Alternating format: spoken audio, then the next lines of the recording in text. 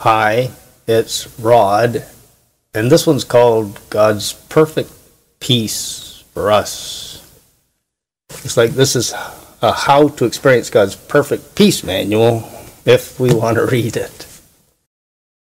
Jesus said, In this world you'll have stressful tribulation, but in Him we can have peace with God. He can help us to overcome the tribulation. The Bible says that the Lord of peace can give us peace at all times in every way. It's like if we put our mind on our best friend God, best friend, all powerful God, and trust in Him, not us, we can have perfect peace of mind. The problem is we want to trust in ourselves, not God, and that creates fear and worry like a Martha or something. How do I do it myself? This is too stressful. This tribulation I got to live in. But it's like the Jesus in the boat during the storm story. It's like the storm is like the stresses and problems of life, and uh, if the disciples had to put their eyes on Jesus, their best friend, all powerful God with them in the boat. They wouldn't be as afraid. Jesus said to them, Why are you so fearful? It's like he's saying, Why are you so fearful? I'm here. That's how we have peace. We believe our perfect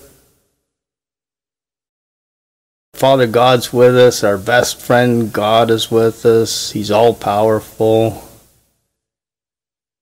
Superman's living inside of us. How powerful God is. Believing the truth about God.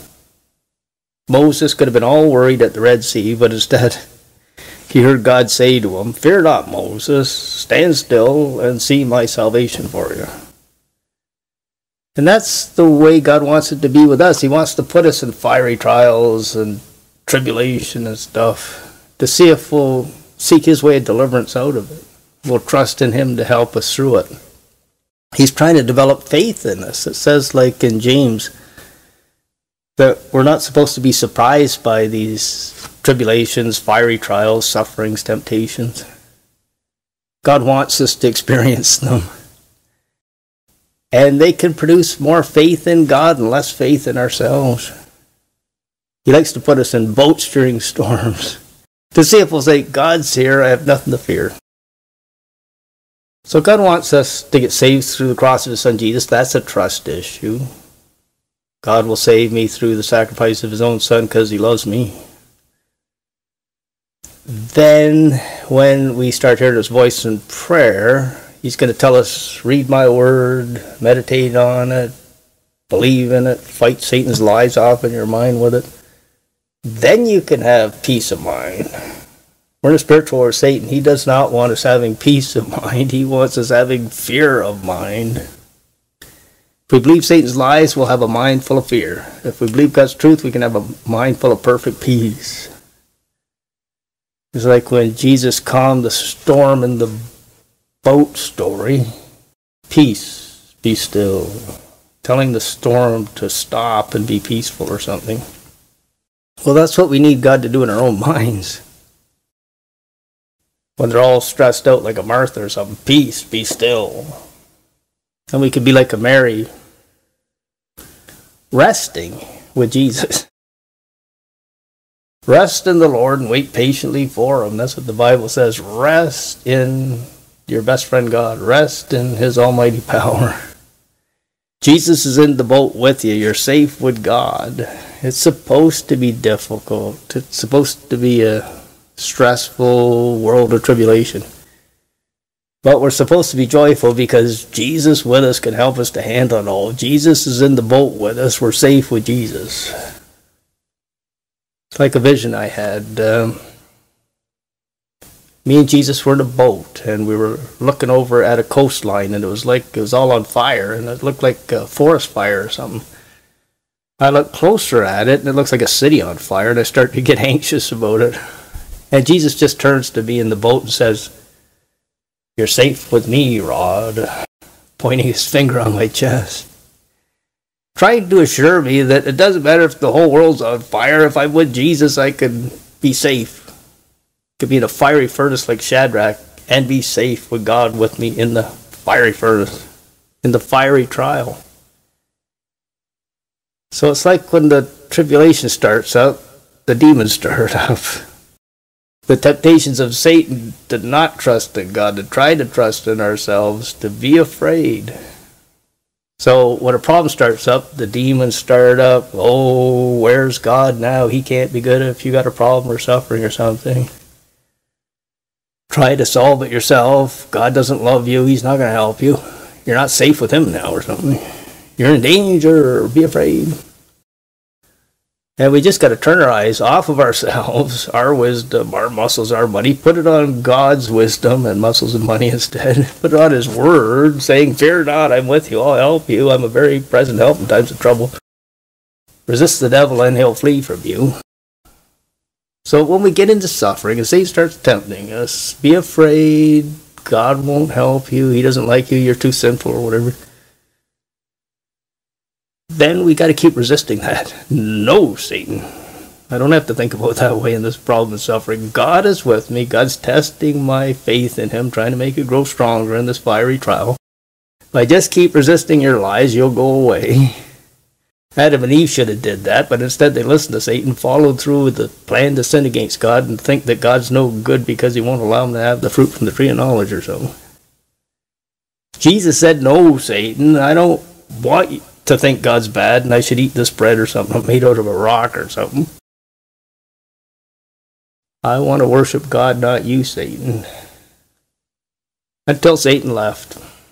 That's what we got to do. There's a problem starting up, Satan's going to tempt me to think God's bad or hurt me in the suffering, won't help me. Just got to keep saying, God, help me with this problem.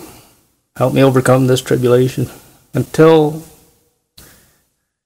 Satan goes away and the crazy thoughts in your mind that uh, you should think God's bad and sin against him, like Adam and Eve thought in their mind, goes away. And you have angels ministering to you, or something like Jesus in his wilderness temptation. We need to hear God's prophetic voice. He may be quiet while the suffering and turmoil and the temptation are going on, but we have to believe that this won't last forever. I'm not tempted all the time. I'm not suffering all the time. I'm not having problems all the time. Sometimes I have problems. Sometimes I'm suffering. Then the demons start up. It's like I say, when the dogs start to bark, the demons start to bark. When you get into a problem, dogs barking or something, the demons start barking at you. Do something about it. Stop those dogs from barking to have peace or something. God wants us to be able to hear the dogs bark and not be bothered by them. Just wait till they stop barking. Or when Satan's tempting us to think God can't be good in our suffering, keep resisting him till he goes away. He's like a barking dog or whatever. God's no good. You, you can't be good if you're suffering and stuff this. When you read the Bible, everybody was going through suffering and they were learning to have faith in God through it. It was something good for them. It's like Paul had a lot of suffering in his life, but yet he could say, he could have perfect peace in the prison for two years because God was with them. God was saying, like to Paul, This is my will for you. I want you to write the New Testament in this prison. I'll help you to do it. No fear. This is God's will. He's helped me to do it. God always wins.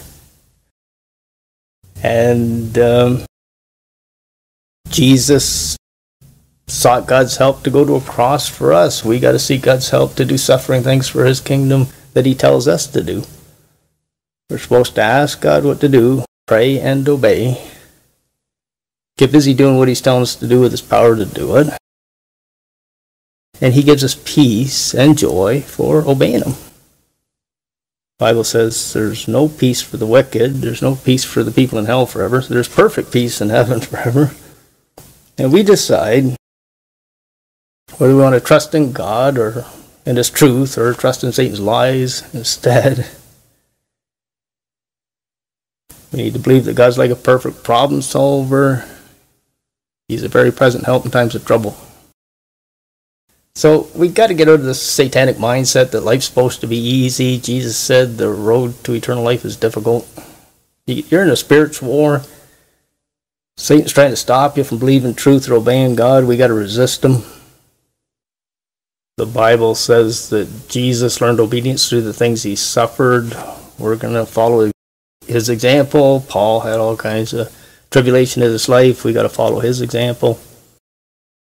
It's like God's trying to toughen up his remnant now for tougher times later. If we can't handle the tribulation in our life now, how are we going to handle it when World War III starts up? He's working really hard to get us to trust in him, not us. It's like I had this uh, vision one time. Jesus was like one of those crossing guards for the kids across the road or something. He had a stop sign in his hand. And he was saying to me something like, uh, Stop trying to do it yourself. Stop trying to do it yourself. Stop trying to trust in yourself, Rod. It was like a vision or something. And he taught me more things about that vision later, but that's what God's trying to teach us to do through our trouble. Don't try to trust in yourself. It's like these people that are godless. Try to learn to trust in themselves from birth, and they don't have any trust in God. Then when trouble hits, they just fall apart or something. Go crazy. It's like today's society is getting more and more stressful, putting on the news and the internet, and in society it's getting more stressful out there. People are turning to drugs to try to find peace or something. Their minds racing with the television and the internet and the cell phones and rush, rush, rush all over searching for things, and they have a low attention span and everything. We need to have a strong attention span on God with us we need supernatural peace, not natural peace. It's not about trying to fix all your problems by yourself to feel peaceful for five minutes. It's about feeling spiritual peace in whatever circumstance you're in all the time. It's seeking after a supernatural peace through trusting in God, not a physical peace through trusting in Rod or yourself. Control everything yourself. It's trusting in God's control, not your control. It's like a motto I have. I got to live in an evil and suffering world, but God can help me through it, bring good out of it for me, make me happy in it, and help me not to be bothered by it. It's like God's trying to say to me when I see the stress in society don't let it bother you, Rod. You're safe with me. Even through World War III.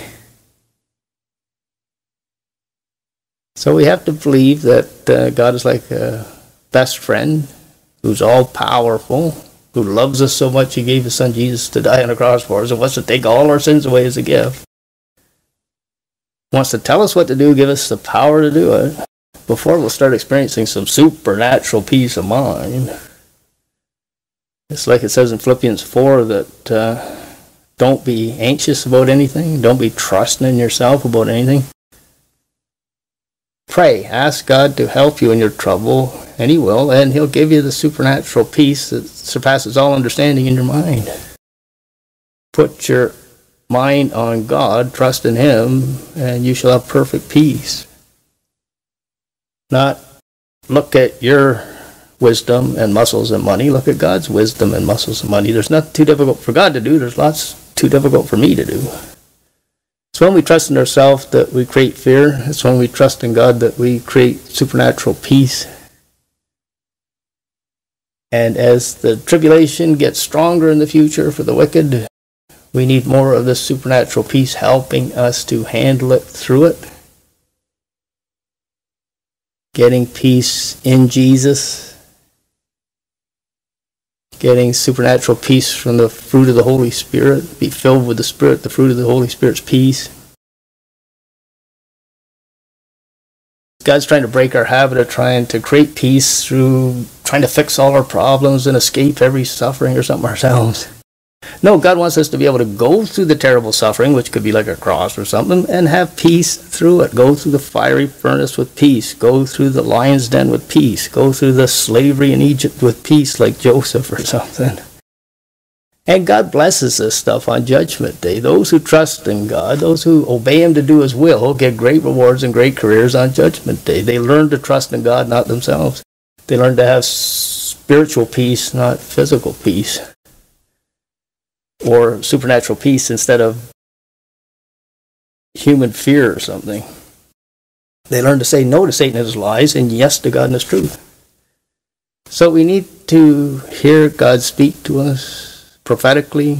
Fear not, I'm with you, I'll help you. I'm your best friend. I love you so much. I gave my son for you. I love you so much I died on the cross for your sins. Believe in this awesome, good friend God, or best friend God.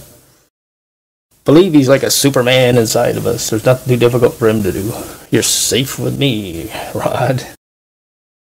In the boat during the storms and tribulations. So God may allow us to go through some suffering circumstances. It says in the Bible, before I was afflicted, I went astray, but now I obey your commands after the suffering or something. If we're not learning to trust in God in our suffering, we got no peace of mind in our suffering. God's got to still work on us through the suffering. Like Joni Eareckson in a wheelchair. She says, I don't want a physical healing, I want a spiritual healing. God doesn't want to heal me physically out of this wheelchair. Heal me spiritually so I can have peace and joy in the wheelchair and still give glory to God in my suffering circumstance. So I got lots of suffering in my life, but uh, I try to get a supernatural peace and I don't really care. It's like the affliction drives me closer to God and His peace. It doesn't cause me to turn away from God in my suffering. And God could heal me of my back pain any time if He wants to, but He seems to want to just keep it in my life, and that's fine. He's in control. He can heal it any time. If He does want to heal it, He's trying to get a spiritual healing. Trust in me, not you, Rod. Trust in me, not you, Rod. And that's good for me. So we need to believe God can work all our sufferings out for our good. God is here to help us with all our problems. Because, like a perfect father or a best friend who's all powerful, it's like a Superman living in us. And we can have supernatural peace instead of, you call it supernatural fear from Satan. But uh, we need that supernatural peace so that we can be in a lion's den and feel safe. Fiery furnace and be safe in great tribulation or World War III and feel safe. Just ask God what to do in the problem. Perfect problem solver. He's very present help in times of trouble. You're safe with me in the boat. Like Jesus in the boat during the storm story. That uh, nothing shall by any means harm you. We need to hear God speak to us through His Word and through His Spirit. Fear not, I'm with you. I'll hold your hand. I'll help you. What He said in Isaiah. My perfect Father God's here. My best friend God's here. No matter what we go through, even the valley of the shadow of death, He's with me to help me through it. I will not fear. It's a choice. Believe lies. God's not here. God doesn't love you. God can't help you. Or God is here and He does love you and He can help you. It's like I can lay down and go to sleep because God makes me dwell in safety. So there's a lot of tribulation and stress out there, but it doesn't have to make us fear. We don't have to try to handle it ourselves. Stop trying to trust in ourselves. Start to trust in God. Start to let Him help us solve our problems. He's been solving my problems for 60 years. I'm sure He's going to keep on going. I can trust in Him, even through severe back pain for many years. I can trust God to help me through it. Supernatural joy, supernatural peace, even though you're physically suffering, like a Joni Eareckson in a wheelchair. God can work it out for your good. God chooses the weak things of this world. The humble things, unless you become like a humble little child with your perfect Father God, you won't enter the kingdom. The person who chooses to be a good and faithful and loving and joyful servant of all gets the greatest rewards in heaven. God rewards suffering, love the, the most in heaven. Follow Jesus' example of suffering, Paul's example of suffering, but be content in these suffering circumstances. And the God of peace, which surpasses all understanding, will be in you, helping you to have perfect peace. So that's a bit about God's perfect peace for us.